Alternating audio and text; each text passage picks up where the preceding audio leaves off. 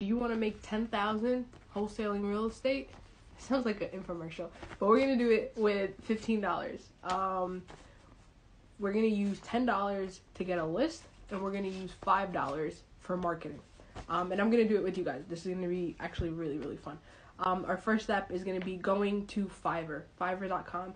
Um, I have it linked in my bio. It gives you I think like ten percent off if you use that link. If you don't want to use it, you can go on Google and search up Fiverr.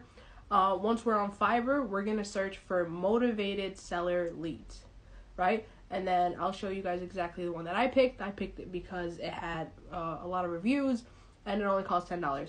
I believe there's a $2 service fee. If you use that 10%, then it subtracts that $2.